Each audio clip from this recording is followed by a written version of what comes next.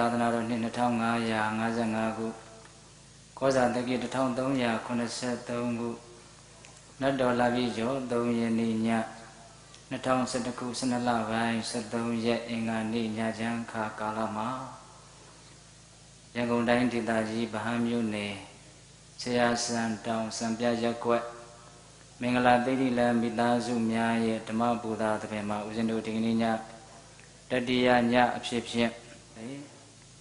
နှစ်ဖက်သောအဖိုးအဖွားနှင့်ဖခင်ကြီးဥကိုလေးမောင်တို့အားရည်စူးပြီးတော့မိခင်ကြီးဒေါ်စောတင်လှနှင့်သာသမီများ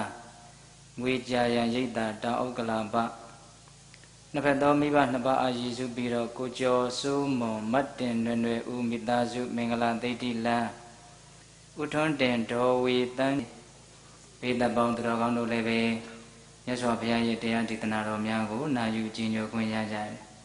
ဒီတော့ဒီကနေ့ညဘေးတပေါင်းတော်ကောင်းတို့ကိုဦးဇင်းတို့ဗာတရားဟောမှလဲဆိုလို့ရှိရင်အင်္ဂုတ္တရနိကေသက္ကနိပတ်တတ္တကနိပတ်တို့မှာလာရှိတဲ့ဒါနသုတ်တံနန္ဒမာတာသုတ်တံတို့ကိုအခြေခံ၍၎င်းတန်ယုတ်တနိကေနိဒာနဝကတန်ယုတ်ပါဠိတော်မှာလာရှိတဲ့အောက်ခါသုတ်တံကိုအခြေခံ၍၎င်း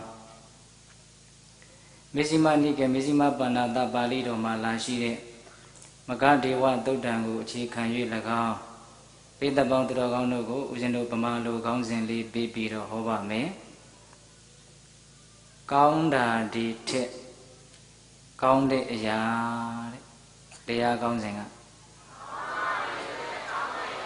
အေး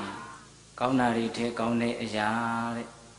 ဒီတော့ဒီကနေ့ညဦးဇင်းက ပေသက်ပေါင်းသူတော်ကောင်းတို့ကိုမြတ်စွာဘုရားရဲ့အလိုတော်ကြောင့်အင်မတန်ကောင်းတဲ့တရားတွေကိုအရင်ပြောပါမယ်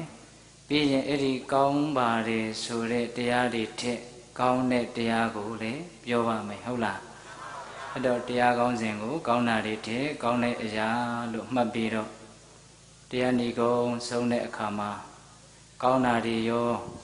ကောင်းတာတွေထက်ကောင်းတဲ့အရာတွေရောမိမိတို့ရဲ့တန်တာမှာတတ်နိုင်သမျှပြည့်စုံအောင်ကျင့်သုံးမယ်ဆိုတဲ့ မမြတ်တဲ့စိတ်နဲ့မြတ်စွာဘုရားရဲ့တရားတော်ကိုနာယူကြည်ညိုကြရအောင်နော်တရားမဟောသေးခင်မှာမြတ်စွာဘုရားကိုရှိခိုးပူဇော်ကြောကြအောင်စုဒီတရားတော်ကိုမဟောကြားသေးခင်မနာကြသေးခင်မှာတရားတော်အလုံးကိုဟောကြားတော်မူခဲ့တဲ့ဘုရားရှင်ကိုတော်မြတ်ရဲ့အင်မတန်အေးချမ်းကြည်လင်တော်မူတဲ့မဟာကရုဏာကို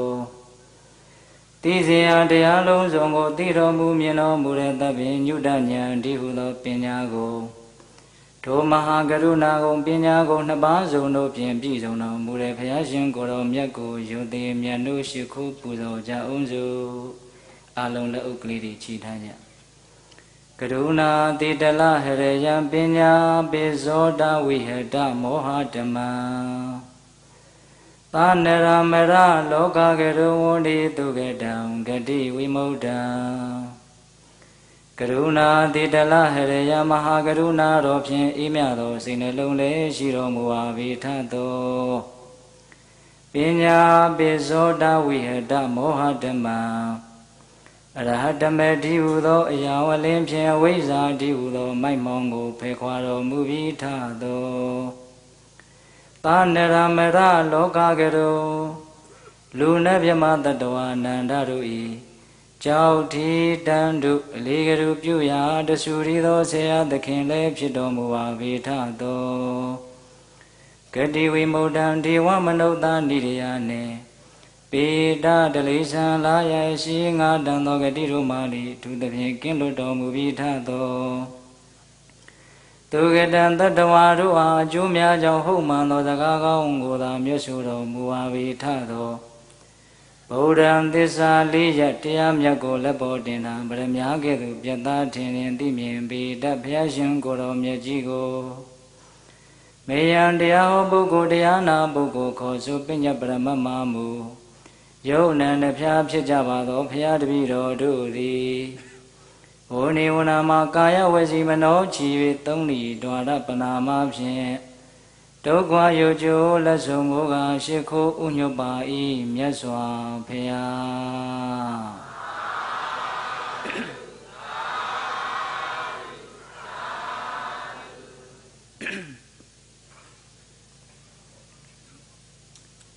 ကောင်းတာတွေတဲ့ကောင်းတဲ့အရာတဲ့ဦးဇင်းတို့စတင်ပြီးတော့ကောင်းတာတွေ ရင်ပြောကြည့်ရအောင်ကောင်းတာတွေကိုပြောပြီးတော့မှအဲ့ဒီကောင်းတာတွေထက်ကိုပို့ပြီးတော့ကောင်းတဲ့အရာတွေကိုပြောမှာဟုတ်လားအဲ့တော့ဒီတန်တရားကြီးမှာဒီလောကကြီးမှာကောင်းတာတွေဟာဘာတွေလဲဆိုတော့သူတော်ကောင်းတရားတွေပေါ့အဲ့ဒီသူတော်ကောင်းတရားတွေထဲမှာလည်းပဲဦးဇင်းတို့စတင်ပြီးတော့ပြောလိုက်ချင်တာကဒါနတိဟုသော ကောင်းတဲ့အရာပိဋိဒါနတိဟုသော ကောင်းတဲ့အရာ ဒါနသည်ပြုကြတဲ့ပုဂ္ဂိုလ်တွေကိုပြစ္ဆုတ်ပံတန်တရားနှစ်ဖြာသောကောင်းကျိုးတွေကိုပေးတဲ့အတွက်ကြောင့်အင်မတန်ကောင်းတဲ့အရာလို့ဘုရားဘာသာဝင်သူတော်စင်တိုင်းယုံကြည်လက်ခံထားကြတယ်မို့လားယုံကြည်လက်ခံထားကြတယ်မိမိသူတစ်ပါးနှစ်ဦးသားတို့ရဲ့အကျိုးစီးပွားကိုလည်းဖြစ်ထွန်းစေတယ်နောက်ဆုံးတန်တရားဝုက္ကတောင်လွတ်စေတယ်လို့ဒါနရဲ့ကောင်းကျိုးတွေကိုကုံအောင်ပြောမယ်ဆိုရင်ပြောနိုင်မှာမလားမပြောနိုင်ဘူး ဒါနံတက္ကသသောပါဏံဒါနံပါထိယမုဒ္ဓမံဒါနံဥစုကတမေကံဒါနမောက္ခပဒံဝရံဒီဂါထာလေးကိုဦးဇင်းတို့သာသနာတော်မှာအင်မတန်အသုံးတွင်ကျဲတဲ့ဂါထာတစ်ပုဒ်အနေနဲ့ပေတပေါင်းတော်ကောင်းတို့သိထားကြတယ်နော်ဒါနံတက္ကသသောပါဏံဒါနံပါထိယမုဒ္ဓမံဒါနံဥစုကတမေကံဒါနံမောက္ခပဒံဝရံပေကံစွန်ကျဲလှူဒန်းခြင်းဆိုတဲ့ဒါနဟာ နတ်ရွာရဲ့ရောက်ရရောက်ကြောင်းစောင်းတန်းလှေကားတဖွေဖြစ်တယ်တဲ့ဒါနံတက္ကသသောပါဏံဒါနံပါထေယမုဒ္ဓမံပေကံစွန်ကျဲလှူဒန်းခြင်းဆိုတာတန်တရာခရီးသည်တို့အတွက်မသိုးမပုတ်နိုင်တဲ့အင်မတန်မုံမြတ်တဲ့ရိတ်ခါဒုတ်တဖွေလည်းဖြစ်တယ်လို့ကြားဖို့တယ်မို့လားအေးဒါနံတက္ကသသောပါဏံဒါနံပါထေယမုဒ္ဓမံဒါနံဥစုကတမက်ကံ ဒါနဆိုတာနိဗ္ဗာန်ရောက်ဖို့အတွက်အင်မတန်ဖြောင့်တဲ့လမ်းပဲတဲ့ဒါနံဥစုကတမက်ကံဖြောင့်တဲ့လမ်းဆိုတော့ကောက်တဲ့လမ်းနဲ့တော့ပို့ပြီးတော့နိဗ္ဗာန်နဲ့နီးမှာပေါ့ဗျာဒါနံဥစုကတမေကံဒါနံမောက္ခပဒံဝရံဒါနဆိုတာအင်မတန်မွန်မြတ်တဲ့နိဗ္ဗာန်ကိုဝင်ဖို့အတွက်တကားပေါက်တစ်ဖွယ်ဖြစ်တယ်လို့အစရှိသဖြင့်ဒါနရဲ့ကောင်းကျိုးတွေပိဿပေါင်းသူတော်ကောင်းတို့ ကြားဘူးထားတယ်မို့လားအေးအဲ့ဒီတော့ဒါနဲ့နဲ့ပတ်သက်ပြီးတော့ဦးဇင်းတို့ကပထမဦးစွာပြောလိုက်ချင်တာကအင်္ဂုတ္တရနိကေသက္ကနိပတ်မှာလာရှိတယ်ဒါနမဟာဖလသုတ်တံဆိုပြီးတော့သုတ်တံလေးတစ်ပုဒ်ရှိတယ်အဲ့ဒီသုတ်တံမှာမြတ်စွာဘုရားကယဟန်တော်တွေကိုဟောထားတယ်ချစ်သားတို့တဲ့အင်္ဂါ6ပါးနဲ့ပြည့်စုံတဲ့ဒါနကောင်းမှုတစ်ခုကိုပြုနိုင်မယ်ဆိုလို့ရှိရင် အဲ့ဒီအင်္ဂါ6ပါးနဲ့ပြည့်စုံတဲ့ဒါနဟာဘယ်၍ဘယ်မြကောင်းကျိုးချမ်းသာတွေကိုပေးနိုင်စွမ်းတယ်လို့အဲ့ဒီကုသိုလ်ရဲ့ပမာဏကိုရေတွက်တိုင်းတာခြင်းကမလွယ်ကူပါဘူးတဲ့အင်္ဂါ6ပါးနဲ့သာပြည့်စုံမယ်ဆိုလို့ရှိရင်ဒါနကောင်းမှုတစ်ခုကိုလေအင်္ဂါ6ပါးနဲ့သာပြည့်စုံအောင်လုပ်နိုင်မယ်ဆိုလို့ရှိရင်အဲ့ဒီဒါနကောင်းမှုရဲ့ကုသိုလ်ရဲ့ပမာဏအကျိုးဝေးပမာဏကိုတိုင်းတာဖို့မလွယ်ပါဘူး ဘာနဲ့ဥပမာတူတယ်လဲဆိုလို့ရှိရင်မဟာသမုဒ္ဒရာမှာရှိတဲ့ရေတွေကိုတိုင်းတာချင်တွယ်ဖို့မလွယ်ကူသလိုပါပဲတဲ့မြတ်စွာဘုရားကအဲ့ဒါကိုမြတ်စွာဘုရားကရှင်းသားတို့အဲ့ဒါလိုအင်္ဂါ6ပါးနဲ့ပြည့်စုံတဲ့ဒါနကိုဟိုဒက္ခိဏဂိရိဇနပုတ်မှာရှိတဲ့ဝေလူကန္တကီမြို့သူနန္ဒမာတာဆိုတဲ့အမျိုးကောင်းသမီးဟာအဲ့ဒီလိုအင်္ဂါ6ပါးနဲ့ပြည့်စုံတဲ့ ဒါနကောင်းမှုကြီးကိုပြုနေတယ်လို့မြတ်စွာဘုရားကဇေတဝန်ကျောင်းတော်ကနေပြီးတော့တကိုးတော်နဲ့လှမ်းပြီးတော့မြင်တာဗျဒီအင်္ဂါ6ပါးနဲ့ပြည့်စုံတဲ့ဒါနကိုဘဇုကိုတက်တည်ထားပြီးတော့ဟောတာလဲဆိုတော့ဇေတဝန်ကျောင်းတော်နဲ့တိတ်ဝေးတဲ့ဒက္ခိဏဂိရိဇနပုတ်မှာရှိတဲ့နန္ဒမာတာအမျိုးကောင်းသမီးကြီးဟာရှင်သာရိပုတ္တရာရှင်မမောက္ကလအမှုပြုတဲ့တန်ဃာတော်တွေကို အင်္ဂါ6ပါးနဲ့ပြည့်စုံတဲ့ဒါနကောင်းမှုကြီးပြုနေတယ်လို့မြတ်စွာဘုရားကအမိန့်ရှိတာအင်္ဂါ6ပါးကိုဦးဇင်းတို့ပြီးတော့ရှင်းပြပါမယ်ဟုတ်လားအေးအဲ့ဒီမှာဦးဇင်းတို့စိတ်ဝင်စားစရာကောင်းတာကအဲ့ဒီနန္ဒမာတာရဲ့အကြောင်းစိတ်ဝင်စားစရာလေးရှိလို့နည်းနည်းလေးဦးဇင်းတို့အတူချုပ်ပြီးတော့ပြောကျင်နေရတယ်အဲ့ဒါဘာလဲဆိုတော့အဲ့ဒီနန္ဒမာတာဆိုတဲ့နန္ဒရဲ့အမေပေါ့နော်သူ့အမေကမှဲ့ထားတဲ့နာမည်တော့ဘယ်သူမှမသိဘူး အဲ့ဒီဒကမာကြီးကသူကတကယ်အရိယာသူတော်စင်ကြီးပါတနေ့တော့မိုးတောက်ရံမိုးမလင်းသေးတဲ့အချိန်မှာသူနိုးနေတဲ့အစောကြီးနိုးနေတော့ငါဒီချိန်မှာဘာလုပ်ရရင်ကောင်းမလဲငါရရှိထားတဲ့ဖလားသမဘတ်ကိုဝင်စားရကောင်းမလားသို့မဟုတ်ဇန်ချမ်းသာတွေကိုခံစားရကောင်းမလားငါဘာလုပ်ရရင်ကောင်းမလဲလို့သူစဉ်းစားတော့မြတ်စွာဘုရားရဲ့တရားဒေသနာတွေကို ရွတ်ဖတ်တရစေရရင်တော့ကောင်းမယ်လို့သူအဲ့ဒါလိုအဖြေထွက်တယ်အဲ့ဒါနဲ့သူကမနေ့စောစောသူ့ရဲ့ပြတ်သက်ပေါ်မှာပါရာယနာတုတ်တန်ဆိုတာရှိတယ်ဗျနော်ပါရာယနာဝက်တုတ်တန်ကြီးအရှိကြီးပါဦးဇင်းတို့တုတ်တန်နိဗ္ဗပါဠိတော်မှာလာတယ်အဲ့ဒီပါရာယနာတုတ်တန်ကြီးကိုအလွတ်ရတယ်ဒီဒကမာကြီးကအဲ့ဒီပါရာယနာတုတ်တန်ကြီးကိုအတန်လေးအတန်ဓာနဲ့မြတ်စွာဘုရားကိုရွတ်ဖတ်ပြီးတော့ပူဇော်တာအဲ့ဒါလို့သူကတရားစာတွေရွတ်နေတော့ ကောင်းငင်မှာဝတ္တဝဏမင်းကအမှုကိစ္စတစ်ခုနဲ့ခရီးသွားနေတာအဲ့ဒါကိုသူကဒီတရားရွတ်တဲ့အတန်ကိုကြားလို့အဲ့ဒီပြက်သက်ရဲ့အပြင်ဘက်လေဟာနေထဲမှာရက်ပြီးတော့ဒီတရားတန်ကိုနားဆိုင်ပြီးတော့ထောင်းတယ်ဝတ္တဝဏမင်းကြီးကဝတ္တဝဏမင်းကြီးကလည်းသောတာပန်အရိယာကြီးပါဟုတ်လားအဲ့ဒါလိုနားဆိုင်ထောင်ပြီးတော့နန္ဒမာတာမြို့ကောင်းသမီးကြီးပါဠိတော်တွေရွတ်လဲပြီးပြီဆိုတော့တာဓုလို့သုံးချိန်ခေါ်တယ်နတ်မင်းက အဲ့ဒီတော့မှပြင်ဘက်ကတာဓုခေါ်တာဘယ်သူလဲလို့နန္ဒမာတာကလှမ်းမိတော့ငါဟာတင့်ရဲ့မောင်တော်ဝတ္တဝနတ်မင်းမှာတင့်ရဲ့ကောင်းမှုကိုငါတာဓုခေါ်တာဩဟုတ်ရလားအဲ့လိုဆိုလို့ရှိရင်ဒီကုသိုလ်တွေကိုတင့်ကိုလက်ဆောင်ပေးပါလေယူပါအာရပါရအဲ့ဒါလိုပြောတော့နတ်မင်းကဝတ္တဝနတ်မင်းကနှမတဲ့အဲ့ဒါလို့ဆိုရင်ငါကလည်းတင့်ကိုလက်ဆောင်ပြန်ပြီးတော့ပေးမယ်တဲ့အဲ့ဒါပါလဲဆိုတော့မ နေ့ပြန်တဲ့နေ့မှာရှင်သာရိပုတ္တရာရှင်မမောက္ကလံခေါင်းဆောင်တဲ့တန်ဃာတော်တွေအာယုံစွန်းမဖုံးပေးရသေးပဲနဲ့သင်တို့ရဲ့ဝေလူကန္တကီမြို့ကိုရောက်လာလိမ့်မယ်တဲ့အဲ့ဒါကိုသင်ကိုငါကြွတင်ပြီးတော့အတိပေးတယ်ဒါကြောင့်အာယုံစွန်းချက်ထားလိုက်မနေ့ပြန်ခါမှာရှင်မမောက္ကလံရှင်သာရိပုတ္တရာမှုပြုတဲ့တန်ဃာတော်တွေကိုအာယုံစွန်းဆက်ကပ်ပါဒါတည်င်းကောင်းမယ်ပေါ့အဲ့ဒီမှာတက္ကမကြီးကလည်းဝမ်းမြောက်ဝမ်းသာဟုတ်ပြီဆိုပြီးတော့ တဏီကုံစီမံတဲ့နောက်နေ့အာယုံစွန်းအတွက်ရှင်သာရိပုတ္တရာရှင်မမောကလမှုပြုတဲ့တန်ဃာတော်တွေကိုဆက်ကပ်ဖို့ပေါ့လေအဲ့ဒါနဲ့နောက်နေ့မနေ့တော့အစောကြီးပဲတန်ဃာတော်တွေကြွလာတယ်အဲ့ဒါကိုနန္ဒမာတာကဒီနတ်မင်းရဲ့သတင်းပေးချက်အရသူကကြိုးတိနေတာဆိုအိမ်မှာအကုန်လုံးအယံတင်ဖြစ်နေပြီအဲ့ဒါနဲ့မနေ့မလင်းခင်ပဲသူ့အိမ်ကအိမ်စီတယောက်ကိုလွှတ်လိုက်တယ်တန်ဃာတော်တွေသွားပင်ကြီး အဲ့ဒီမှာရှင်သာရိပုတ္တရာရှင်မမောကလမှုပြုတဲ့တန်ဃာတော်တွေအိမ်ကြွလာအိမ်ရောက်ပြီဆိုတော့ဒကမကြီးတဲ့ဘုန်းကြီးတို့ကြွလာမယ်ဆိုတာကိုအတိမပေးဘဲနဲ့ဒီလိုဆွန်းနေပါတွေကိုအရင်နဲ့စီမံထားနိုင်တယ်သင်ဘာကြောင့်သိတာလဲလို့မေးတာအံ့ဩလို့ပေါ့လေအဲ့ဒီမှာနန္ဒမာတာကအကြောင်းစုံကိုရှင်းပြတယ်သူပါရဏတုတ်တန်ကြီးရွတ်ဖတ်ပူဇော်တဲ့အကြောင်းဝတ္တနမင်းကသာဓုခေါ်ပြီးတော့ လက်ဆောင်ပြန်ပေးတဲ့အနေနဲ့ဒီသတင်းပေးသွားတယ်ဆိုတဲ့အကြောင်းအဲ့ဒီမှာဩဒကမာကြီးဒကမာကြီးဟာနတ်နဲ့တောင်စကားပြောရတယ်ဆိုတော့အံ့ဩပွေရပါပြီလို့ဒီစကားလေးပြောလိုက်တယ်ရှင်သာရိပုတ္တရာကနော်အဲ့ဒါလို့ပြောတော့ဒကမာကြီးကအရှင်ဘုရားတဲ့တပည့်တော်မှာအံ့ဩစရာဟာဒီလောက်တင်မကဘူးအံ့ဩစရာတွေအများကြီးရှိတယ်တဲ့ဒကမာကြီးမှာအံ့ဩစရာတွေ အများကြီးရှိတယ်ဒကမာကြီးပြောစမ်းမအောင်ဆိုတော့အရှင်ဘုရားတဲ့တပည့်တော်မှာတူရီသောသားနန္ဒဆိုတာရှိတယ်တပည့်တော်အင်မတန်ချစ်တယ်ဒါပေမဲ့တပည့်တော်သားကဆိုးတယ်တဲ့ဆိုးတော့တနေ့တော့ဘယင်ကပြစ်ချက်ရှိတာနဲ့သူ့သားကိုဖမ်းဆီးပြီးတော့တတ်ပလိုက်တယ်တဲ့အဲ့ဒါတူရီသောသားလေးအသေးဆိုးနဲ့သေရတာကိုတပည့်တော်ရဲ့စိတ်ထဲမှာဘယင်မင်းတရားရဲ့အပေါ်မှာရောအဲ့ဒီဖြစ်ခဲ့တဲ့ကိစ္စတွေရဲ့အပေါ်မှာရော ဘာမှစိတ်ထဲမှာစိတ်နှလုံးမသားမရာဖြစ်ခြင်းဆိုတာမရှိဘူးတဲ့အဲ့ဒါအံ့ဩစရာမကောင်းဘူးလားတဲ့ကောင်းတယ်အဲ့ဒီမှာတကဒကမာကြီးရဲ့အံ့ဩစရာကိုဟာဒါအံ့ဩစရာကောင်းတာပေါ့ဟုတ်တာပေါ့ဖြစ်ထောင်ဖြစ်ခဲ့ကိစ္စ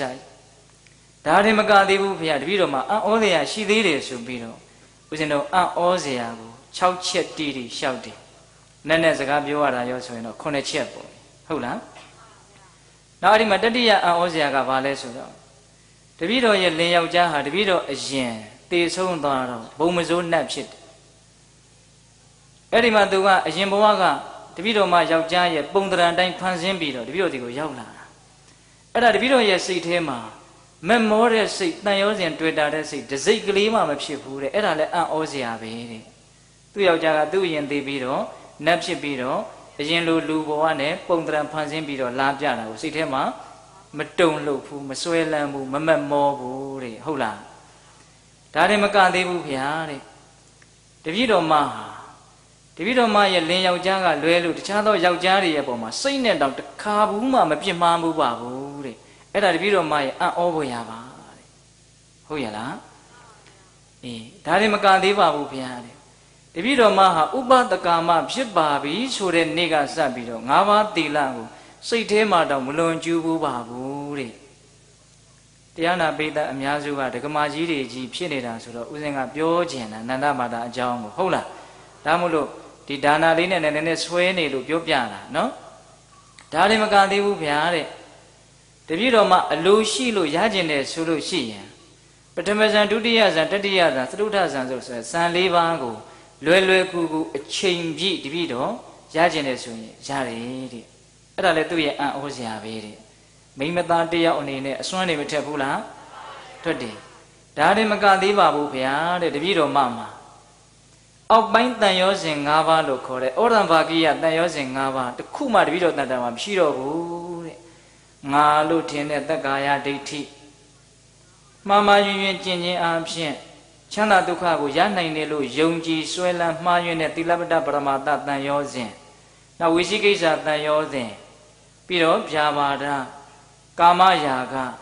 နော်ဒီတန်ရောစဉ်၅ပါးသူ့မှာဗါတဲ့တော့မရှိတော့ဘူးတဲ့သူ့ကိုယ်သူအနာခံလို့ပြောတာပေါ့ဟုတ်လားအဲ့ဒါလို့ပြောပြီးတော့ရှင်သာရိပုတ္တရာရှင်မမောကလအမှုပြုတဲ့တန်ဃာတော်တွေကိုဆွန့်ကတ်အဲ့ဒီဆွန့်ကတ်တဲ့ပွဲကိုဇေတဝန်ကျောင်းတော်ကနေမြတ်စွာဘုရားကသိတာသိတဲ့အတွက်ကြောင့်တန်ဃာတော်တွေကိုခုနတုန်းကလို့ဏိဒန်းချီပြီးတော့ဟောတာ အင်္ဂါ6ပါးနဲ့သာပြည့်စုံအောင်လုပ်နိုင်မယ်ဆိုရင်ဒါနကောင်းမှုတစ်ခုသည်ဘယ်၍ပဲမြအကျိုးကြီးတယ်လို့ရည်တွက်ခြင်းကမစွမ်းသာဘူးမဟာသမုဒ္ဒရာတွေကရည်တွေကိုတိုင်းတေတိုင်းတာချင်းတွယ်လို့မရတယ်လို့မျိုးပဲလို့မြတ်စွာဘုရားကအမိန့်ရှိတာဟုတ်လားအေးအဲ့ဒီတော့အင်္ဂါ6ပါးနဲ့ပြည့်စုံတဲ့ဒါနကောင်းမှုဖြစ်အောင်ဘယ်လိုလုပ်မလဲအင်္ဂါ6ပါးဆိုတာကဘာလဲဆိုတော့ပိသတ်တို့ကသိပြီးသား ဒီတိုင်းပြောတော့မေ့ရင်မေ့နေမှာဦးဇင်းကပြောလိုက်ပြီဆိုတော့အော်ဓာတုသိတာပေါ့လို့ဖြစ်မှာနော်အင်္ဂါ6ပါးဆိုတာဘာလဲဆိုတော့အလူပေးတဲ့ပုဂ္ဂိုလ်ဘက်ကအင်္ဂါ3ပါးအလူခံယူတဲ့ပုဂ္ဂိုလ်ဘက်ကအင်္ဂါ3ပါးအလူပေးတဲ့ပုဂ္ဂိုလ်ဘက်ကအင်္ဂါ3ပါးကဘာလဲဆိုတော့ပုဗ္ဗေဝပုဗ္ဗေဝဒါနာသူမနောတတံစိတ်တံပတာတယေဓတဝအတ္တမနောဟောတိဧတာပုညတသံပဒာ လို့ဂါထာလေးနဲ့မြတ်စွာဘုရားကပြောတယ်ပိသတို့ကသိပြီးသားပါဗျာဟုတ်လားဝမ်းမြောက်ကြည်သာနှစ်သက်ဒါလေးကိုအတူချုပ်မှတ်ထားနော်အလှတစ်ခုမလုတ်ခင်မှာရှေးဦးဆိုတာဝမ်းမြောက်ရမယ်နော်မလှူခင်မှာမလုပ်ရမယ်ဝမ်းမြောက်ရမယ်လှူးနေသေးမှာကြည်လင်ရမယ်လှူနေသေးမှာစိတ်ကလေးကိုကြည်လင်အောင်ထားရမယ် မလှူခင်မှာငါလှူရတော့မှာပဲလို့ဝမ်းမြောက်ဝမ်းသာတက်တက်ကြွကြွဟုတ်လားလှူနေသေးမှာတော့အာဘယ်လိုကောင်းကျိုးတွေကိုရခြင်းလို့လောကီအကျိုးတရားတွေဂုံပကာသနာတွေကိုရခြင်းလို့ဒီလိုရခြင်းနဲ့လိုခြင်းနဲ့ဆိုတဲ့လောဘအညစ်အကြေးတွေမစွဲထင်သေးပဲနဲ့စိတ်ကလေးကိုကြီးလင်းနေရဒါနဆိုတာသူတော်ကောင်းတွေပြုတဲ့အရာပဲနိဗ္ဗာန်ရောက်ကြောင်းတရားပဲအလုံးသောတတ္တဝါတွေအချမ်းသာဖို့ပဲလို့ ဒါနရဲ့ကောင်းကွက်ကိုယုံကြည်ပြီးတော့ပညာတရားဥသိပြီးတော့လုပ်မယ်ဆိုရင်လှူနေသေးမှာကြည်လင်တယ်လို့မဆိုရဘူးလားဆိုရမလှူခင်မှာဝမ်းမြောက်ရမယ်လှူသေးမှာကြည်လင်ရမယ်လှူပြီးတဲ့နောက်နှစ်သက်ရမယ်ဓတ္တဝအတ္တမနောပြီးပြီးတဲ့နောက်မှာဒီအမှုကိုနှစ်သက်နိုင်ရမယ်ဟာငါပြီးမိတာတော့မှားပြီလို့ဒါမျိုးမဖြစ်ရဘူးဟုတ်လားအဲ့ဒါလို့ မလှူခင်လှူစေလှူပြီးတဲ့နောက်မှာအဲ့ဒါလို့စိတ်ကောင်းနှလုံးကောင်းတွေပြည့်စုံအောင်ထားနိုင်မယ်ဆိုလို့ရှိရင်အင်္ဂါ၃ချက်နဲ့အလှပေးတဲ့ပုဂ္ဂိုလ်ဘက်ကပြည့်စုံတယ်လို့ဆိုရတယ်အလှခံတဲ့ပုဂ္ဂိုလ်ဘက်ကအင်္ဂါ၃ချက်ကဘာလဲဆိုတော့ဝိတရာဂဝါဟွန်တိရာဂဝိနည်းယဝပฏิပန္နာဆွဲလန်းမှုຢာကကင်းတဲ့ယဟန္တာတော်လည်းဖြစ်ရမယ်သို့မဟုတ် ဆွဲလန်းမှုຢာကကင်းအောင်ကြင့်ကြံကြိုးကုပ်အထုတ်နေတဲ့သူတော်ကောင်းတော်လည်းဖြစ်ရမယ်တဲ့ဒါပထမအင်္ဂါအကျေချက်မပြောဘူးနော်ဒီကမာကြီးတို့ကကိုယ့်ကိုတွေးရမယ်ဟုတ်လားနောက်ဒုတိယကဘာလဲဆိုတော့ဝိတဒေါသဝါဟွန်တိဒေါသဝိနည်းယဝံပฏิပန္နာဒေါသကင်းတဲ့ယဟန္တာတော်လည်းဖြစ်ရမယ်ဒေါသကင်းအောင်ကျင့်သုံးနေတဲ့သူတော်ကောင်းတော်လည်းဖြစ်ရမယ်နော်ဝိတမောဟဝါပฏิပန္နာ မောဟဝိနည်းယဝံဝိတမောဟဝါဟွန်တိမောဟဝိနည်းယဝံပฏิပန္နာတွေးဝေမိုင်မဲမှုမောဟကုံနဲ့ယဟန္တာတော်လည်းဖြစ်ရမယ်သို့မဟုတ်မောဟကုံအောင်ကြင်ကြံကြုတ်ကိုအထုတ်နေတဲ့သူတော်ကောင်းတော်လည်းဖြစ်ရမယ်တဲ့အဲ့ဒါအလှခံတဲ့ပုဂ္ဂိုလ်ရဲ့ဘက်ကအင်္ဂါ၃ချက်အဲ့ဒါလိုမိမိတာဝန်ကိုမိမိအသေးသေးအလှပေးအလှခံနှစ်ဦးသားတို့ဟာထမ်းဆောင်နိုင်မယ်ဆိုလို့ရှိရင် အင်္ဂါ6ပါးနဲ့ပြည့်စုံတယ်လို့မဆိုရဘူးလားဆိုရတယ်အဲ့ဒါလိုသာအင်္ဂါ6ပါးနဲ့ပြည့်စုံအောင်ဒါနကောင်းမှုတစ်ခုကိုပြုနိုင်ကြမယ်ဆိုရင်မဟာသမုဒ္ဒရာတဲကရေတွေကိုတိုင်းတာချင်းတွယ်လို့မရသလိုမျိုးဒါနရဲ့ကောင်းကျိုးချမ်းသာတွေကိုလည်းပဲရေတွက်လို့မရပါဘူးတဲ့ဒါကြောင့်ဒါနသည်တန်တရားမှာအာကိုးရာတစ်ခုမဟုတ်လား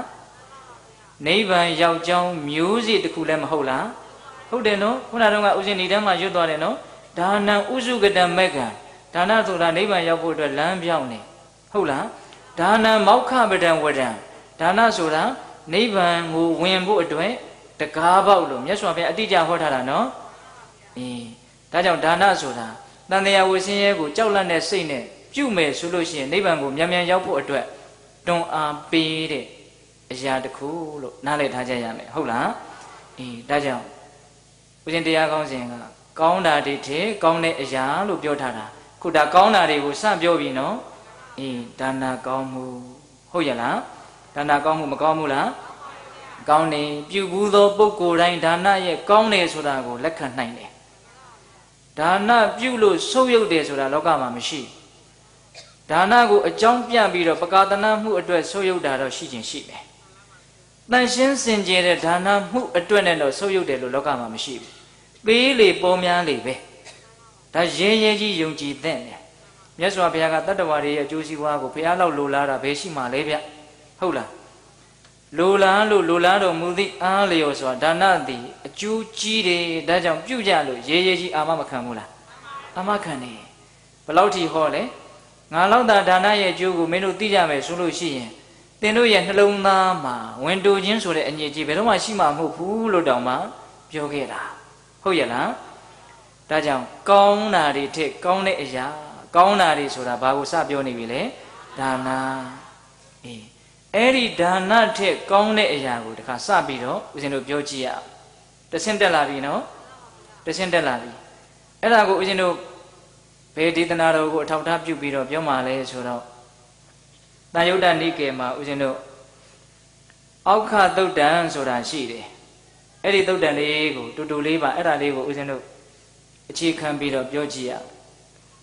ယောဘိကဝေပုပ္ပန္နသမယအောက်ခတတံဒါနန္တရိယယောမေဇန္တိကသမယအောက်ခတတံဒါနန္တရိယယောတာယာနသမယအောက်ခတတံဒါနန္တရိယဘိကဝေယဟံတော်မြတ်အိုခြင်းသားတို့ယောအခြင်းပုဂ္ဂိုလ်သည်ပုဗ္ဗန္နသမယနန္ဒခင်အခါကာလ၌အောက်ခတတံတရားသောဦးကြီးတို့ဖြင့်ဒါနံလူဒါနကိုတတိယပေးလူရ၏ စေတနာရီတရားတရားဒီကောင်းလုံးလို့လူတယောက်နန္ဒခင်ခါကာလမှာဦးကြီးတရားနဲ့ထမင်းတွေကိုချက်ပြီးတော့အဲ့ဒါနဲ့ထိုက်တန်တဲ့ဟင်းနေနဲ့ဗာလဲလှူတယ်တဲ့မေဇနီကသမယံများမေဇနီကသမယံနေလေခင်အခါကာလ၌အောက်ခတတတရားသောဦးကြီးတို့ဖြင့်ဒါနလှူဒါနကိုတတိယပေးလူရ၏တာယာနသမယံညာချံအခါကာလ၌အောက်ခတတတရားသောဦးကြီးတို့ဖြင့် ဒါနလှူဒါနကိုတတိယပေးလူရ၏စေတနာတွေတရားတရားတွေကောင်းလုံးလို့တရက်ကိုအိုးပေါင်း300နဲ့အလူဒါနာကြီးတွေထမရေချောင်းစီးပြုနေတယ်လို့ဆိုကြပါစို့တဲ့ဟုတ်လားယောဝံဘိကဝေပုပ္ပန္နသမယံအန္တမသောဂတုဟနမတ္တံပိမေတ္တာစိတ်တံဘာဝေယယောဝံမိဇဏိကသမယအန္တမသောဂတုဟနမတ္တံပိမေတ္တာစိတ်တံဘာဝေယ ယောတာယာနာသမယအန္တမာသောကတ္တဝနမတ္တမိမေတ္တာစိတ်တံဘာဝေယယောဝါခြင်းပုဂ္ဂိုလ်သည်ကဘုဗ္ဗနာသမယနနခင်ခါကာလ၌အန္တမာသောအယုဇုံအဖြစ်ကတ္တဝနမတ္တမိနွားတို့တညစ်စာအချိန်ကာလမြလေးမေတ္တာစိတ်တံမေတ္တာနဲ့ရှင်သောစိတ်ကိုဘာဝေယပွားများရ၏ပုဂ္ဂိုလ်တဦးတယောက်ကတော့ ခုနလိုဦးကြီးတွေနဲ့ချက်ပြီးတော့လှူနေတာတော့မဟုတ်ဘူးဒါပေမဲ့နန္ဒခင်းခါကာလမှာသူမေတ္တာစိတ်ဖြစ်စေတယ်အလုံးသောတတ္တဝါတွေကျမ်းမာကြပါစေချမ်းသာကြပါစေကောင်းကြပါစေအဆင်ပြေကြပါစေတတ္တဝါတွေရဲ့ကောင်းကျိုးစီးပွားကိုလိုလားတဲ့စိတ်ကိုမိမိရဲ့တန်တာမှာဖြစ်အောင်သူကြိုးစားတယ်ဘလောက်ကြာအောင်ကြိုးစားလဲဆိုတော့ဂတ္တုဟနမတ္တံဘီတဲ့နွားနုတညစ်စာအ ချိန်ကာလကြာပါသလားမကြာဘူးနွားနို့လေးညှစ်လိုက်တယ်ပြီးပြီးတော့မကြာဘူးနော်အဲ့ဒီလောက်အတိုင်းအတာအချိန်ကလေးအတွင်းမှာမေတ္တာစိတ်ကိုသူပွားများတာနေ့လည်ခင်းခါကာလမှာပဲအဲ့လောက်ကလေးပဲသူပွားများတာညချမ်းခါကာလမှာလည်းအဲ့လောက်ကလေးပဲသူပွားများတာသူကုသိုလ်ကတစ်မျိုးနော်အေးဒါပေမဲ့လို့အဲ့ဒီမေတ္တာစိတ်ကအရှိန်စောကြီးလွန်းလို့တန့်ရှင်းလွန်းလို့ဣဒံတတော်မဟာဖလတရံ ခုနတုန်းကဦးကြီး300နဲ့အလှူဒါနပြုတဲ့ပုဂ္ဂိုလ်ရဲ့ကုသိုလ်ထက်မေတ္တာစိတ်ကို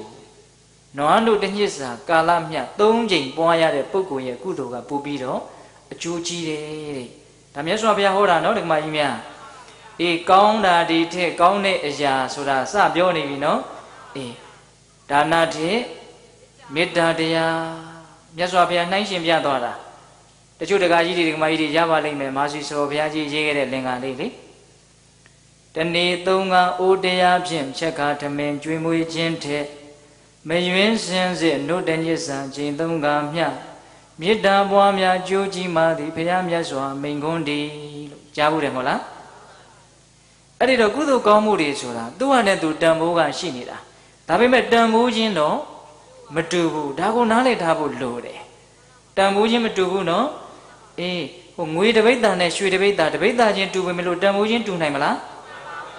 ရွှေတပိတ်တန်နဲ့ဗရမ ्या တပိတ်တန်တန်ဖိုးချင်းတူနိုင်မလားမတူနိုင်ဘူးဒါကြောင့်ကုသိုလ်ကောင်းမှုတို့ရဲ့တန်ဖိုးကိုလည်းပဲနားလည်ဖို့လိုတယ်အဲ့ဒါလို့နားလည်ထားမှသာလျင်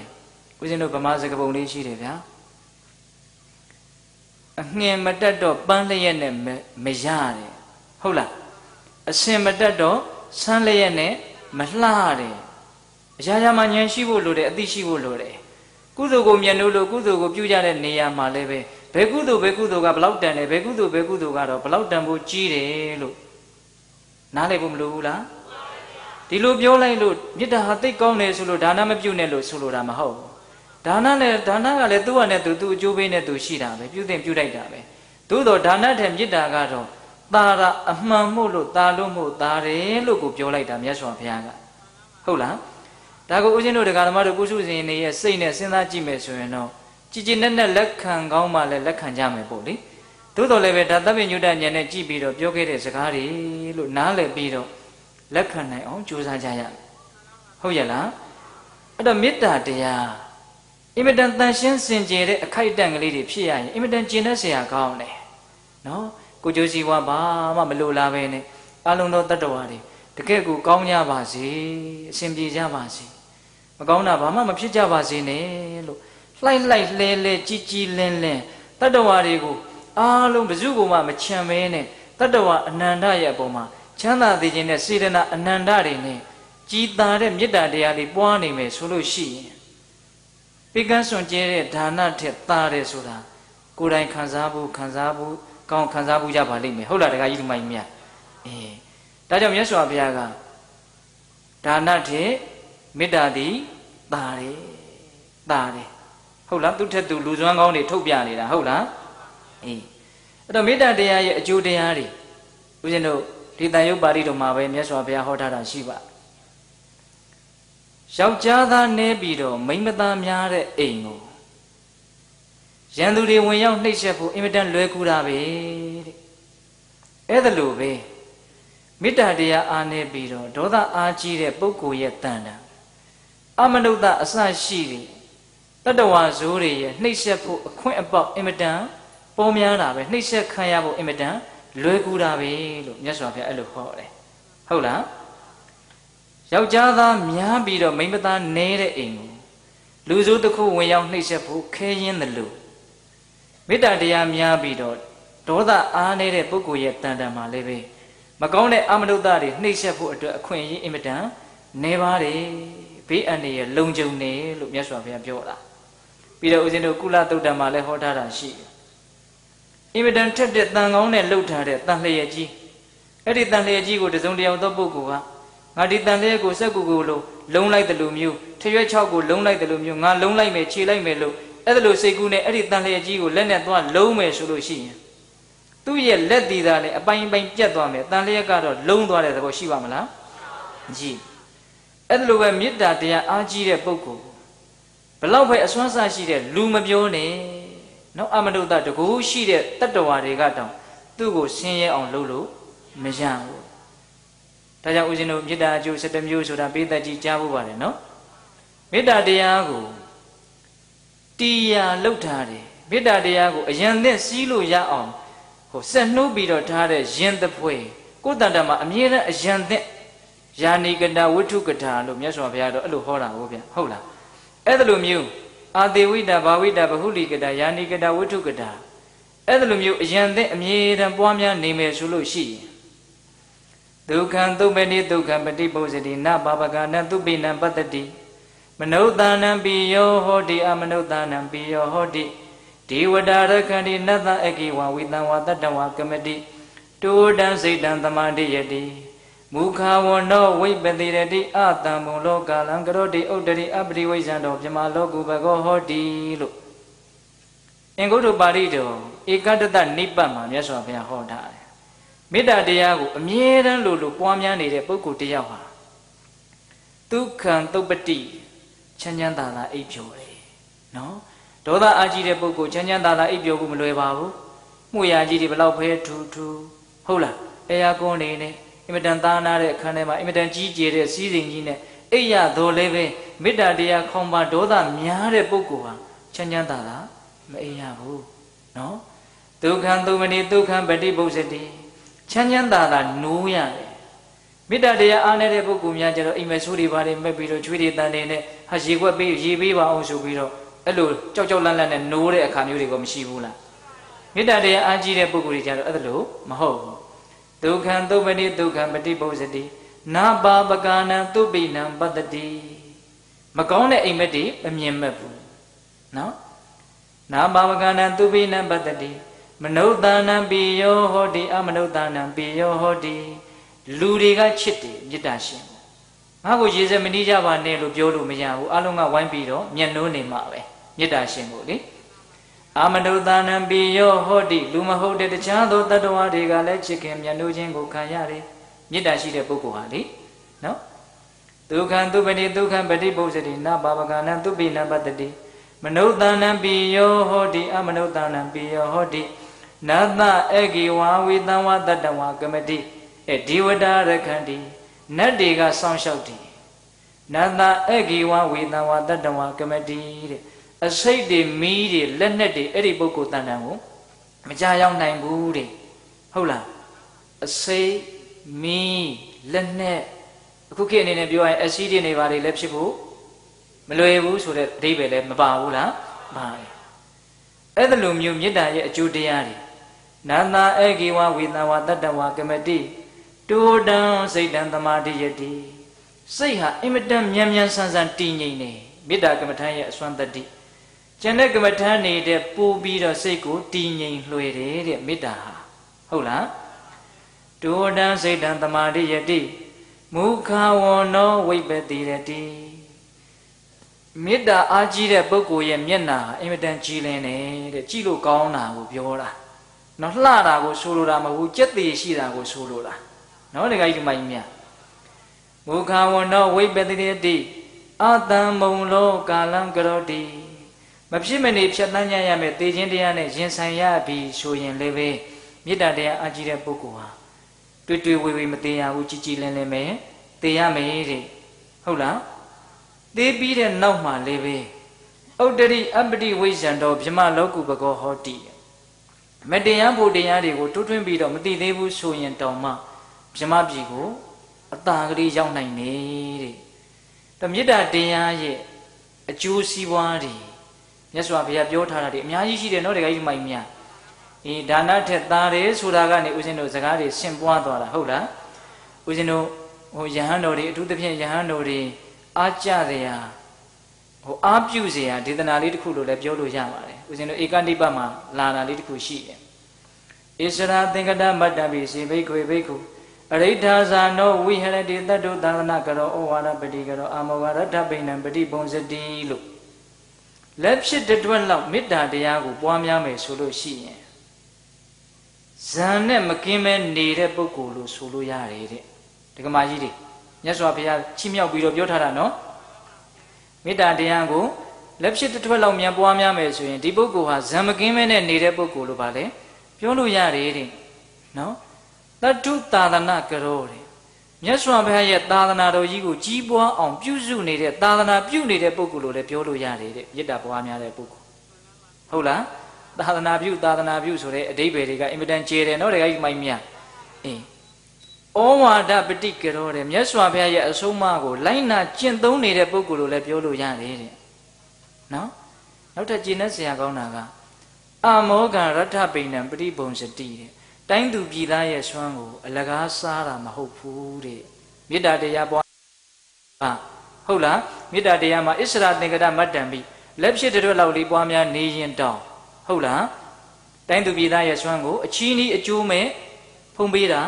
မဟုတ်ဘူးတဲ့အကူစရာမကောင်းဘူးလားအင်းအဲ့ဒါလောက်ကြီးကျယ်တဲ့မေတ္တာတရားမကြိုးစားသင့်ဘူးလားကြိုးစားသင့်နေ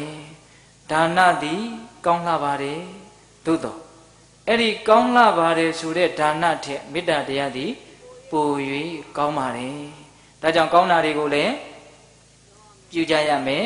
ပို၍ကောင်းတာတွေကိုလည်းပြုကြရမယ်ဟုတ်လားအဲ့တော့ဦးဇင်းတို့တရားပြောလိုက်တာဘယ်နှလုံးရှိသွား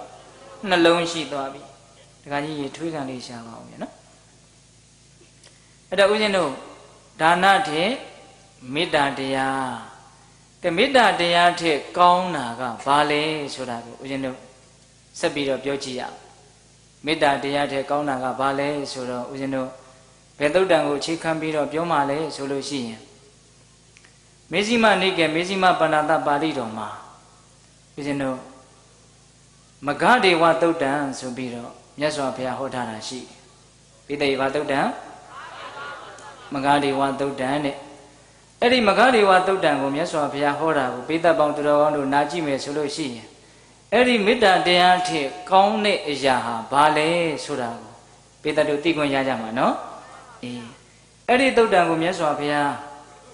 မိထီလံပြည်မဂဒေဝမင်းရဲ့တရေဥယျင်မှာတရင်သုံးတော်မူစဉ်အခါမှာဟောခဲ့တာတဲ့အဲ့ဒီတရေဥယျင်ထဲမှာမြတ်စွာဘုရားတရင်သုံးရင်းနဲ့တနေရာကိုကြည့်ပြီးတော့မြတ်စွာဘုရားပြုံး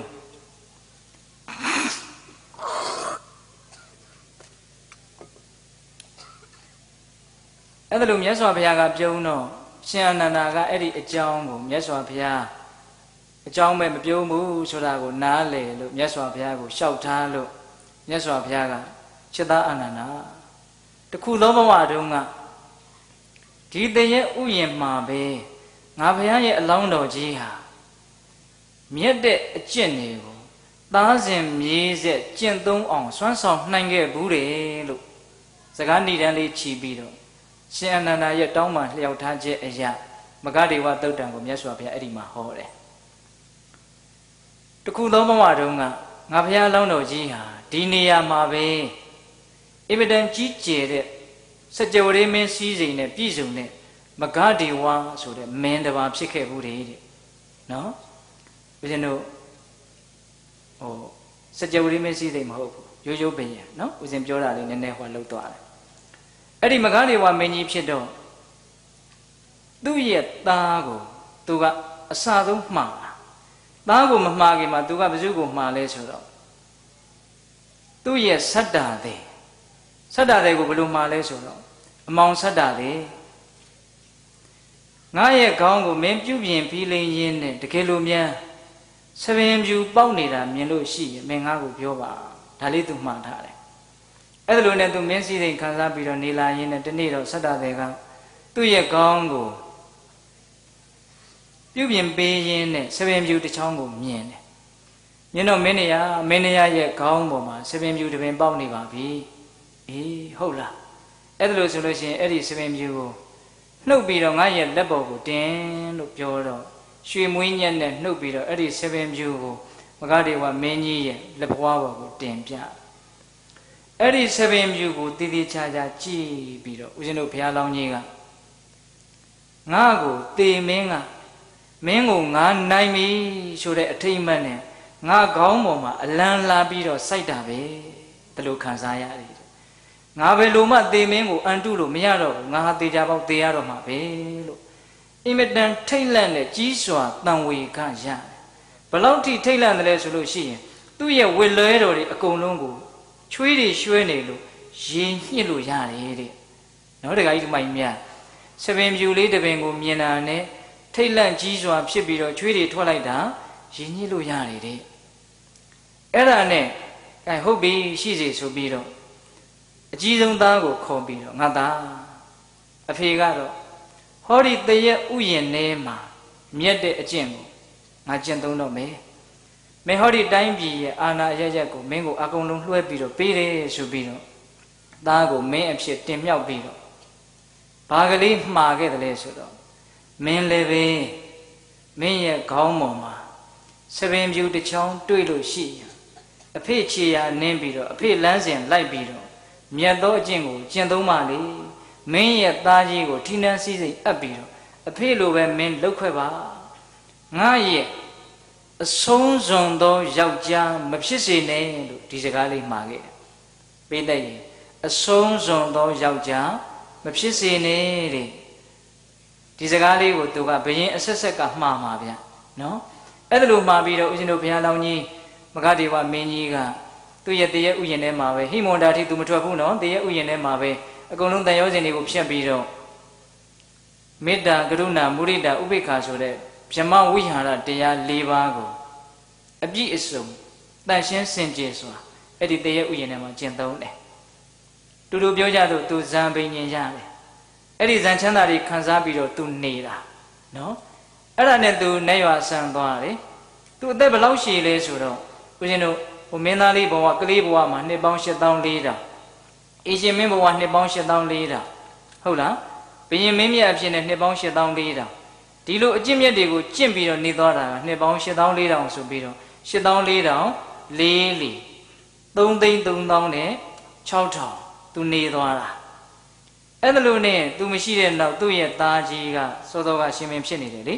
အဲ့ဒီသားကလည်းသူ့ရဲ့ကောင်းမှာရှင်မင်းပြူလေးတစ်ပင်တွေ့တော့သူ့ရဲ့သားကြီးကိုပဲသူ့အဖေမှားခဲ့တယ်လို့မျိုးမှားဟုတ်လားငါသားမင်းလည်းပဲအဖေတို့စပင်ပြူတပင်ပေါက်လို့ရှိရင်မြတ်သောကျင့်ကိုကျင့်ရလေ ငါရဲ့အဆုံးစွန်သောယောက်ျားမင်းမဖြစ်စေနဲ့ကောင်းမြတ်တဲ့အဖေရဲ့လမ်းစဉ်ကိုမင်းလိုက်ပါဒါကလေးမှားပြီးတော့သူကလည်းပဲတရေဥယျာဉ်မှာသူ့ဖခမဲတော်ရဲ့လမ်းစဉ်ကိုလိုက်တယ်အဲ့ဒါလို့နဲ့သားစဉ်မြေဆက်အချင်းမြတ်တွေကိုကျင့်သုံးပြီးတော့သူတို့ဗြဟ္မဝိဟာရတရားတွေပွားများနေလိုက်တာမေတ္တာကရုဏာမုဒိတာဥပေက္ခဆိုတာဘယ်လိုအဓိပ္ပာယ်ရှိတယ်ဆိုတာတွေပေးသက်ကြီးကိုအဲ့ဒါလောက်ဦးဇင်းတို့ကအထင်မသေးဘူးတော့ရှင်းမပြဘူးဟုတ်လားအေး အဲ့ဒါလိုအကျင့်မြတ်တွေကိုသူတို့ကျင့်ပြီးတော့လာလိုက်တာ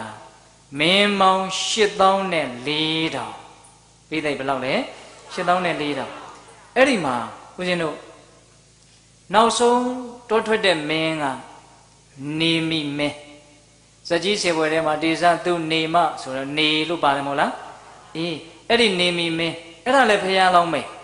အဲ့ဒီမှာဘုရားလောင်းက ငါစခဲ့တဲ့ဇလန်းကိုငါကိုယ်တိုင်ပြန်ပြီးတော့အဆုံးသတ်မယ်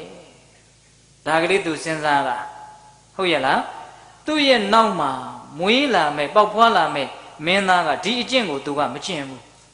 သိလားဒါကြောင့်ဘုရားလောင်းက तू လက်ဆက်တတ်မယ် तू စခဲ့တဲ့မြက်တဲ့လမ်းစဉ်ကိုသူပဲအဆုံးသတ်မယ်ဆိုပြီးတော့ဘုရားလောင်းကအဲ့ဒီမှာမိဖုရားကြီးရဲ့ဝမ်းကိုပရိသေတွေနေပြီးတော့ နေမိမင်းသားဆိုပြီးတော့ဖြစ်လာတာနေမိဆိုတာကဦးဇင်းတို့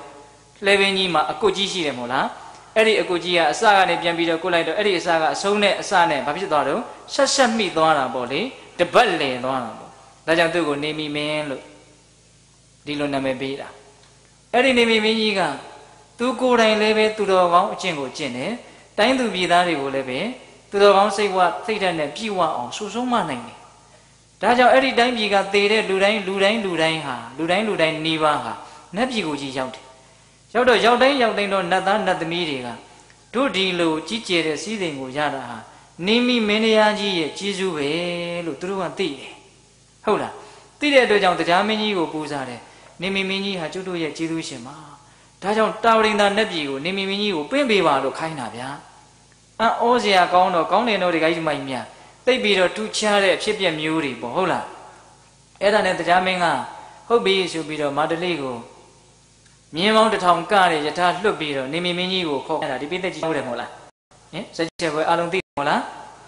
အဲ့ဒီမှာမာတလိကမင်းနေရကောင်းမှုရဲ့အကျိုးကိုခံစားစံစားနေရတဲ့ပုဂ္ဂိုလ်တွေရှိတယ်မကောင်းမှုရဲ့အကျိုးတွေကိုလည်းပဲခါးသီးပူလောင်စွာခံစားနေကြရတဲ့ပုဂ္ဂိုလ်တွေလည်းရှိတယ် အဲ့ဒီလိုပုဂ္ဂိုလ်နှစ်ရက်ကိုမြင်နိုင်တဲ့လမ်းနှစ်လမ်းရှိတယ်အဲ့ဒါဘယ်လမ်းကလိုက်မလဲတဲ့တာဝရိန္ဒာနဲ့ပြည်ကိုဒီတော့ဘုရားလောင်းကငါလမ်းနှစ်လမ်းလုံးကလိုက်ချင်နေတဲ့နော်အဲ့ဒါနဲ့ငရဲပြည်ကနေခေါ်သွားတာဗျာတာဝရိန္ဒာနဲ့ပြည်ကိုသိလားအဲ့ဒီမှာဘုရားလောင်းကအကုန်လုံးမြင်ရတယ်ဩမကောင်းမှုရဲ့အကျိုးပေးဆိုတာသိကြောက်စရာကောင်းပါလားလက်တွေ့မြင်တာနဲ့မှန်းဆကြည့်တာဟာခံစားချက်ချင်းတူနိုင်မှာမလား ဟင်ဟိုတလောစီကတော့ကြားလိုက်တယ်ဟုတ်လားချီလီမှာပါဟင်တွင်ကြီးပါတန်းငွေတွေလာပါလေလားသိပါဘူးတူးတော့အောက်ကနေပြီးတော့အတန်တွေကြားရတယ်ဆိုတာလေပိတကြီးသိမှာပါနော်အေးထားပါတော့အဲ့တော့သိပ္ပံပညာဟာ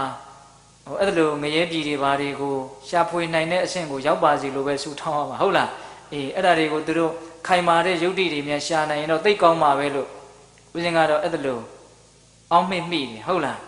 အေးမြတ်စွာဘုရားမရှိဘဲနဲ့မပြောပါဘူးဗျာ ဦးဇင်းတို့ကျမ်းကျမ်းစာတွေထဲမှာအထင်ရှား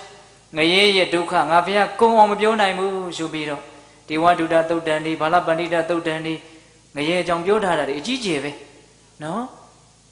အဲ့ဒီမှာဘုရားလောင်းကြီးကဩဒုက္ခတွေသိကြီးပါလားမကောင်းဘူးဟာသိကြောက်စရာကောင်းတယ်အဲ့ဒါနဲ့သူ့ရဲ့ယထာထဲမှာတော့တော်တော်အိုက်လာတယ်လို့ဆိုတယ်ငရဲမီးရဲ့အရှိန်ကြောင့်ဒါဘုဒ္ဓတာလေးတွေပြောပြတာဦးစင်ကအဲ့ဒီကနေတခါနတ်ပြည်ကနေပြီးတော့တခါပြန်လှည့်ပြန် ဩကောင်းမှုရဲ့အကျိုးကလည်းဒီလိုရှိတကူအဲ့ဒီမှာနတ်ပြည်ရောက်တော့တရားမဲမှုပြုတဲ့တာဝရိန္ဒနတ်သားနတ်သမီးတွေကိုတရားဟောတယ်ဦးဇင်းတို့ဘုရားလောင်းကြီးကလူသားတယောက်ကနတ်တွေကိုတက်ပြီးတော့တရားဟောတာနော်စမ်းကြည်တဲ့ဇက်ပါပဲအဲ့ဒီဇက်ကအဲ့ဒါနဲ့ခုနှစ်ရက်နေတော့ပြန်ပို့တယ်နတ်ပြည်ကိုအဲ့ဒီပြန်ရောက်ပြီးဆိုတော့မှလက်တွေ့ပြန်ပြောပြတာသူကတိုင်းသူပြည်သားကိုငါကိုယ်တိုင်မြင်ခဲ့တာနော်မယုံမရှိနဲ့ဆိုတဲ့အဓိပ္ပာယ်ပေါ့နော်အဲ့ဒါနေမီမင်းကြီး အဲ့ဒီနေမီမင်းကြီးကလည်းပဲဆပင်ဖြူတပင်ပေါက်တော့သူ့အဖေမှားခဲ့တဲ့အတိုင်းသူကတော့မင်းမောင်း8400ထဲမှာအထူးခြားဆုံးမင်းပေါ့လူဘုံကလူအသက်နဲ့နတ်ပြည်ကိုရောက်ရတာကိုဗျဟုတ်လားအေးအဲ့ဒါနဲ့သူကလည်းသူ့ရဲ့သားကိုမှားတယ်သူ့ရဲ့သားကကလာရစနကာတယ်ငါသားမင်းလည်းပဲဆပင်ဖြူတပင်ပေါက်လို့ရှိအဖေလိုမြတ်သောအကျင့်ကိုကျင့်ဖို့ ဟောဒီတရဥယျင်တွေကိုထွက်ပြီးတော့တိနံစည်းစိမ်ကိုမင်းသားကြီးကိုလွှဲပြီးတော့မြတ်သောကျင့်ကိုကျင့်ပါလေလို့မှာခဲ့ပြီးတော့ထွက်သွားတာသူလည်းပဲဇံပင်ញင်ရပြီးတော့ဗြဟ္မပြည်ကိုလာတယ်အဲ့ဒီမှာကလရစနကကတော့မြတ်သောကျင့်ကိုကျင့်ဖို့အတွက်တရဥယျင်တွေကိုမထွက်တော့ဘူးစပင်ပြူတွေတကောင်းလုံးပေါက်လဲသူမထွက်တော့ဘူးအဲ့ဒီမှာမြတ်စွာဘုရားကจิตသားအာနန္ဒာအဲ့ဒီတုန်းက ငါဖယားအလောင်းချမှတ်ခဲ့တဲ့မြင့်မြတ်စင်ကြယ်တဲ့အကျင့်ကိုကျင့်တဲ့လမ်းစဉ်ကိုဖောက်ဖျက်တဲ့ကလာရစနကဆိုတဲ့မင်းဟာသူတော်ကောင်းတွေရဲ့အဆုံးစွန်သောယောက်ျားဟုတ်လားကောင်းတဲ့လမ်းစဉ်ကိုဗာလေမလိုက်ခဲ့နိုင်တဲ့ယောက်ျားနော်ကောင်းတဲ့ပုဂ္ဂိုလ်တွေရဲ့လမ်းစဉ်ကိုမလိုက်ခဲ့နိုင်တဲ့ယောက်ျားအဆုံးစွန်သောယောက်ျားဒါပေမဲ့လို့အဲ့ဒီတုန်းကအဲ့ဒီအကျင့်ကိုမလိုက်ခဲ့လို့နစ်နာတာတည်း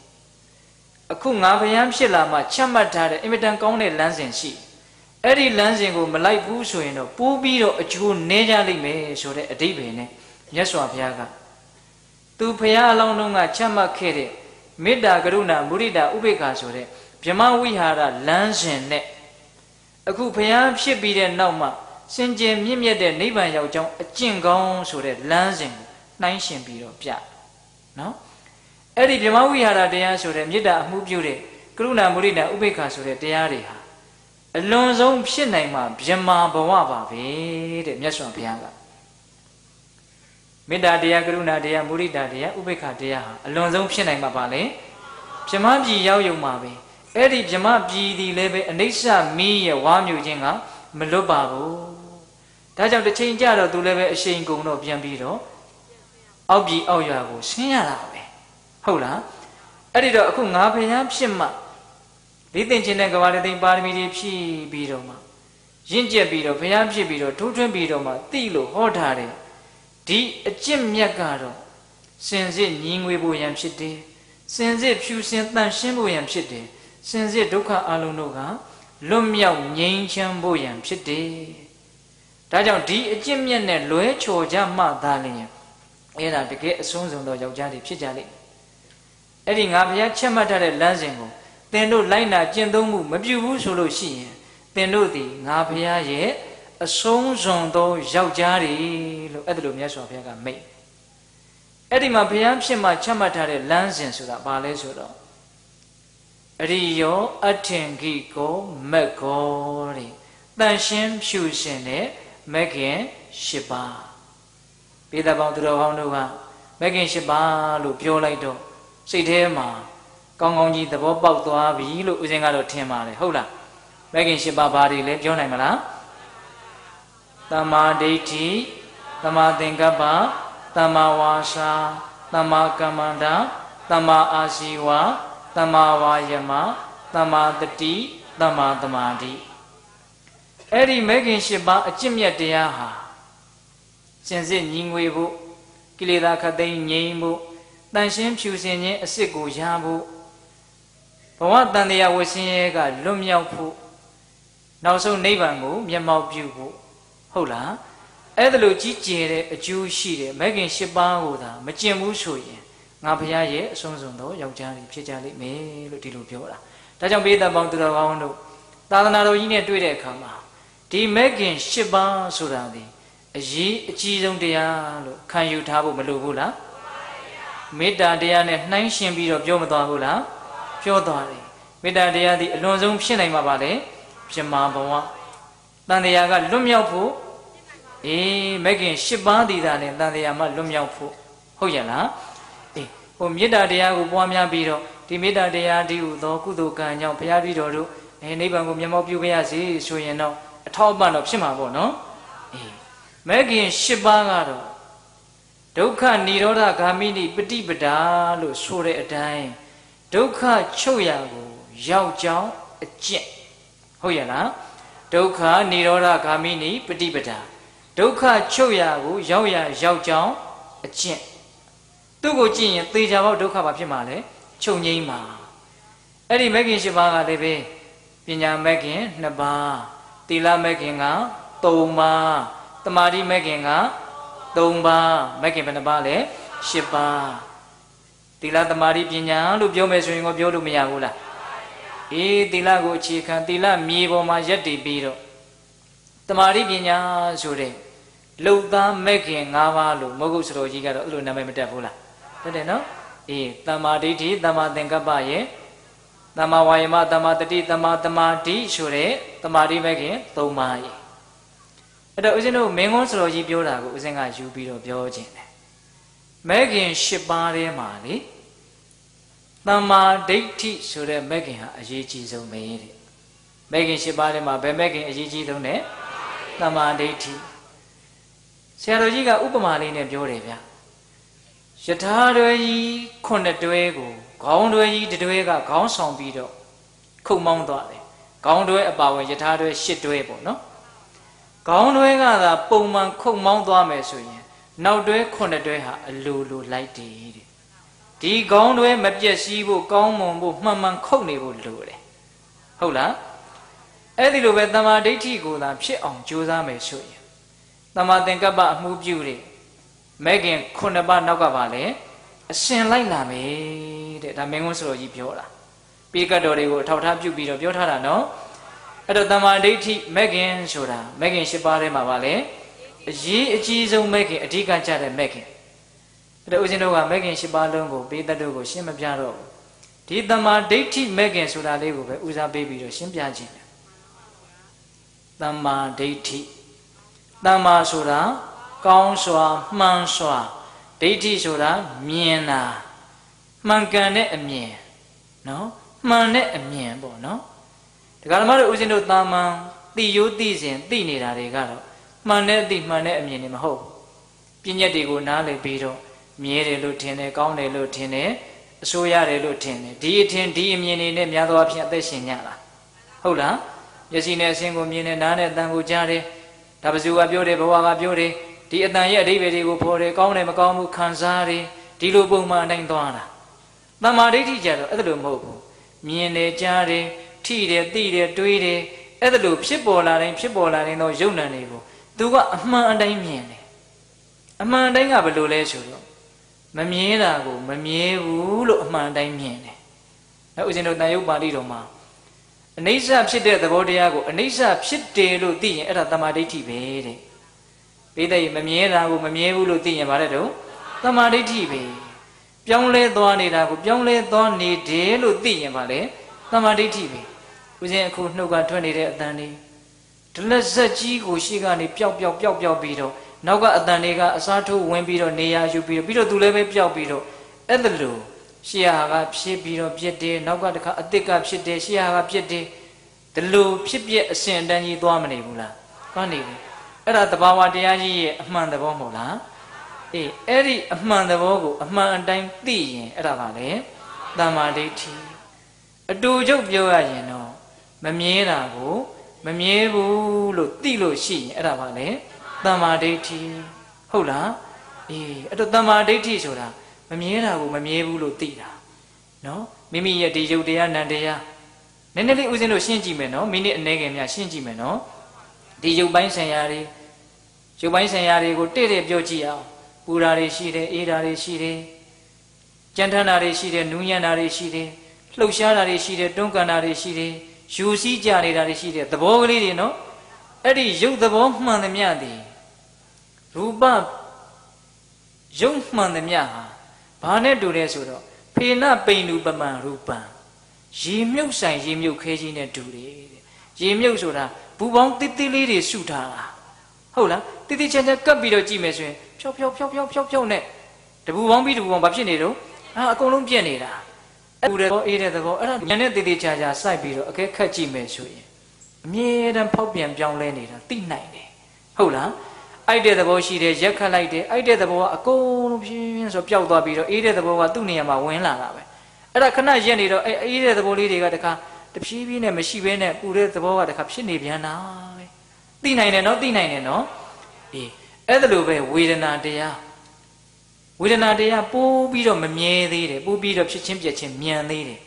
ဝေဒနာဆက်ရေဘွက်တန်တန်ဆိုဟုတ်လားပိုးပြီးတော့မြန်တယ်နော်ဒီဝေဒနာတရားဦးဇင်းတို့ကြံ့ကန်နေတဲ့မှာဥပမာလေးပေးထားတာရှိတယ်စီမီးကွက်ကလေးတစ်ခုမျက်စိထဲမြင်အောင်ကြည့်စမ်းမှအဲ့ဒီမှာစီမီးကွက်ကလေးမီးတောက်နေတယ်စီကလည်းမမြဲဘူး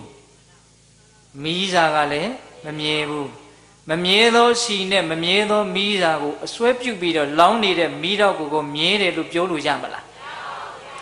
စီကလည်းရော့ရော့သွားတယ်ပထမစီကိုလောင်တဲ့မီးနဲ့ဒုတိယစီကိုလောင်တဲ့မီးတမီးတည်းလို့ပြောလို့ရမလားမီးသာခက်ရှည်ရှည်လေးကိုလောင်တဲ့မီးနဲ့နည်းနည်းလေးတိုးသွားတဲ့အချိန်မှာလောင်တဲ့မီးတမီးတည်းလို့ပြောလို့ရမလားမီးစာနဲ့စီနဲ့ပြောင်းနေတာကိုထောက်သောအဖြစ်မီးတောက်တည်တေချာပေါက်ပြောင်းနေတယ်ဒါပေမဲ့တိတ်ပြီးတော့မြန်တယ်ဒီအလျင်က မြန်လို့မို့မျက်စိကကြည့်လိုက်တော့မီးတောက်ကတစ်ခုတည်းလို့ထင်တစ်ဆက်တည်းလို့ထင်တယ်စီလည်းမမြဲဘူးမီးစာလည်းမမြဲဘူးဒါကြောင့်မီးတောက်လည်းမမြဲဘူးစီလည်းမမြဲမီးသားလည်းမမြဲမီးတောက်လည်းမမြဲအဲ့ဒါလို့မမြဲတဲ့အရာတွေအဲ့ဒီမမြဲတဲ့မီးတောက်ကိုအကြောင်းပြုပြီးတော့ဖြစ်ပေါ်လာတဲ့မီးရောင်ဆိုတာမရှိဘူးလားအေးစီလည်းမမြဲမီးစာလည်းမမြဲမီးတောက်လည်းမမြဲတာကိုသိပါလေခင်နဲ့ မီးရောင်ကြမှာမြဲပါတယ်လို့ထင်မယ်ဆိုရင်မလွယ်ဘူးလားလွယ်တယ်မီးရောင်ဒီပူလို့တော့မပူလို့တောင်မမြဲတော့မှာပေါ့ဟုတ်လားအေးအဲ့ဒါကျမ်းဂန်ထဲမှာလာတဲ့ဥပမာနော်စီရဲ့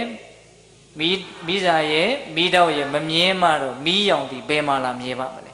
အဲ့ဒါလိုပဲတဲ့ဒီမျက်စိနားနာလျှာကိုစိတ်ဆိုတဲ့အတွင်းအာယတနာတွေကိုအကြောင်းပြုပြီးတော့ခံစားချက်ဝေဒနာဆိုတာဖြစ်တာ ဒီမျက်စိနားနာလျှာကိုစိတ်မှာမမြဲပါဘဲနဲ့ဒါကိုအကြောင်းပြုပြီးတော့ဖြစ်တဲ့ဝေဒနာသည်ဘယ်မှာလားမြဲပါမလဲတဲ့အဲ့ဒါလိုမျိုးပေါ့နော်ဝေဒနာခံစားချက်ကလေးတွေကောင်းတာပဲဖြစ်ဖြစ်ဆိုးတာပဲဖြစ်ဖြစ်မမြဲတာကိုမမြဲဘူးလို့သိရင်အဲ့ဒါပါလေတမ္မာဒိဋ္ဌိအဲ့ဒါလိုပဲမှတ်သားမှုသင်ညာကောင်းမှုမကောင်းမှုလုပ်ခြင်းဆိုတဲ့သင်္ခါရစိတ်ဆော်မှုပေါ့နော်အေးလေဒီစရောကြီးရဲ့ဝေါ်ရနဲ့ပြောရရင်တော့အလုတ်တွေကိုလှုပ်ဖြစ်အောင် အတွင်းကနေအတွင်းဆောနေတာစိတ်ဆောနေတာစေတနာကောင်းဆောင်တဲ့သင်္ခါရတရားအဲ့ဒါသင်္ခါရခန္ဓာပေါ့ဟုတ်လားအေးအဲ့ဒါတွေလည်းမမြဲဘူးဝိညာဉ်ဆိုတဲ့တိမှုဝိညာဉ်တဲ့ခန္ဓာလည်းမမြဲဘူးအဲ့ဒါလို့မိမိတို့ရဲ့ခန္ဓာ၅ပါးမမြဲတာကိုမမြဲဘူးလို့အမှန်အတိုင်းသိမယ်ပျက်စီးလိုက်နေတာကိုပျက်စီးလိုက်နေတယ်လို့အမှန်တိုင်းသိမယ်ဆိုရင်အဲ့ဒါပါလေတမ္မာဒိဋ္ဌိ အဲ့ဒီတမ္မာဒိဋ္ဌိကိုသာလေမိမိရဲ့တန်တံမှာဖြစ်ပေါ်အောင်ကြိုးစားပါတဲ့နောက်ကတမ္မာသင်္ကပ္ပဆိုတဲ့အကျင့်အစီတွေလည်းပဲမှန်ပါလိမ့်မယ်အတိသာမှန်ပါစီအကျင့်လည်းမှန်ပါလိမ့်မယ်အတိနဲ့အကျင့်နဲ့မှန်ပြီဆိုရင်တမ္မာအာဇီဝအသက်မွေးမှုလည်းမှန်မယ်ဟုတ်လားတမ္မာကမ္မန္တာတမ္မာဝါစာဟုတ်လားအပြောတွေမှန်မယ်အလုပ်တွေမှန်မယ်အသက်မွေးမှုတွေလည်းမှန်မယ် ဟုတ်လားပြီးတော့တမ္မာဝါယမတမ္မာတတိတမ္မာသမာဓိလုံလဝရိယတွေတည်ငြိမ်မှုတွေတိမှုတတိတွေအကုန်လုံးပါလဲတမ္မာဆိုတဲ့နာမည်တူးကိုရပြီးတော့မှန်ကြပါလိမ့်မယ်ဟုတ်လားဒါကြောင့်မဂ်ခင်၈ပါးထဲမှာတမ္မာဒိဋ္ဌိဆိုတဲ့မဂ်ခင်ဒီပါလဲအရေးအကြီးဆုံးပဲတဲ့ဦးဇင်းတို့ဗုဒ္ဓဘာသာဝင်တို့ရဲ့ပန်းနိုင်သည်မဉ္ဇဉ်ဘုံဉဏ်ဖြင့်နိဗ္ဗာန်ကိုမျက်မှောက်ပြုနိုင်ရေးပဲမဟုတ်လား မဉ္ဇဉ်ဘုံဉဏ်ဖြင့်နိဗ္ဗာန်ကိုမျက်မှောက်ပြုနိုင်ရေးသည်ဗုဒ္ဓဘာသာဝင်တို့ရဲ့အဓိကအကြသုံးသောရည်မှန်းချက်ပေါ့ဟုတ်လားအဲ့ဒီမှာဦးဇင်းတို့တန်ရုပ်ပါဠိတော်မှာမြတ်စွာဘုရားဟောထားတမ္မာဒိဋ္ဌိရဲ့ဂုံကျေးဇူးကလေးပေါ့လေပြောလက်စနဲ့အဲ့ဒါလေးအမှတ်ရလို့နေထွက်တော့မယ်ဆိုလို့ရှိရင်နေမထွက်ခင်မှာအာယုံဆိုတာအရင်လာတယ်တဲ့နေမထွက်ခင်မှာဟိုပဇွန်စီရောင်ကလေးကောင်းငယ်အဲ အရှိမျက်နာကနေအရင်ဘာဖြစ်လာတော့တက်လာအဲ့ဒါလူတယောက်ကနည်းနည်းစောစောထားပြီးတော့ကြည့်တယ်။အော်အာယုံတောင်တက်ပါပေါ့လား။နေရောင်လေးလာဒီအာယုံတက်တာကိုကြည့်ပြီးတော့ဒီအာယုံအနီရောင်လေးရဲ့အောက်မှာသေချာပေါက်နေမင်းဆိုတာရှိတယ်လို့မှန်းဆလို့မရဘူးလား။ရတယ်။ဒီအာယုံပြီးရင်နေဟာသေချာပေါက်ထွက်လာလိမ့်မယ်ဆိုတာပိဿရေမှားနိုင်မှာမလား။မှားနိုင်ဘူး။အဲ့ဒါကိုမြတ်စွာဘုရားဥပမာပေးတာ။ အာယုံတက်ပြီးရင်သေချာပေါက်နေထွက်အဲ့ဒါလိုပဲတမ္မာဒိဋ္ဌိသာဖြစ်ပြီးရင်တေချာပေါက်သစ္စာလေးပါးကိုထွထွန်းသိမယ်တဲ့ဆိုလိုတာကမဉ္ဇဉ်ဖုန်ဉဏ်ကိုရမယ်လို့ပြောတာအဲ့တော့တမ္မာဒိဋ္ဌိဆိုတာအာယုံလာတာပဲနော်တမ္မာဒိဋ္ဌိဒီဟူသောအာယုံလာပြီးရင်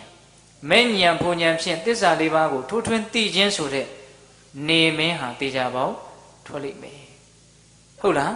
အဲ့ဒါလိုနေမင်းရဲ့အယောင်ဝါနဲ့တရားဓမ္မတို့ဥစဉ်တို့တွေ အသက်ရှင်နေထိုင်သွားမယ်ဆိုရင်မှားเสียအကြောင်းရှိပါမလားရှိမဉ္ဇဉ်ပုံဉ္ဇဉ်ရတဲ့အရိယာသူတော်ကောင်းကြီးတွေသောတာပန်တော့ဖြစ်တယ်ဆိုရင်ကိုပဲအပေကြလောက်အောင်မှားသေးလားအပေကြလောက်အောင်မမှားတော့ဘူးเนาะအကုသိုလ်တော့လုံးဝကြီးမကင်းသေးဘူးပေါ့